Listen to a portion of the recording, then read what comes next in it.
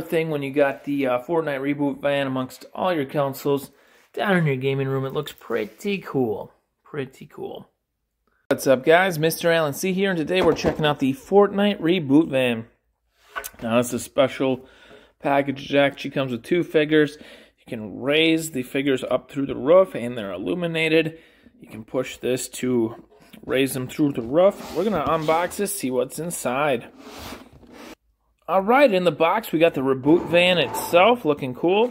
We have this, which raises this in here, and and that's where you go up in game to uh, reboot a character, and then it stays up there. We have the figures that can connect to that. Let's pop these open. Wow, it looks like the front pops open, and you can store stuff in here. They also included a reboot card, which is kind of cool. Imagine probably pretty easy to lose too. I was trying to click one of these figures onto this stand, which it looks easy, but when I try to do it, it pushes down. I try to hold it. It's a little difficult connecting them, so I'm going to work on that.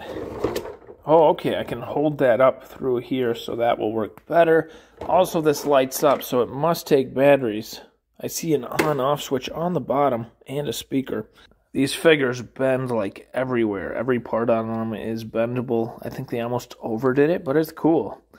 Um, got one of the Joneses in here now. It was incredibly hard to connect the feet. I'm not gonna lie. It's like the holes on the feet are too small. Not anymore though. So when you reboot them, boom. Now I'm gonna get some batteries in here. Looks like we just need a Phillips screwdriver to get that open. All right, it looks like it takes three double A's, not included. All right, our hero showed up. He's got his revive card right there. He's working on it, and all of a sudden it starts lighting up. Something's going on in there. And boom, there comes Jonesy's right out the top, looking good. So that's the reboot van from Fortnite, guys. Gotta love it. I hope you enjoyed this video as much as I enjoyed making it, and I hope you guys have a great day. Bye-bye.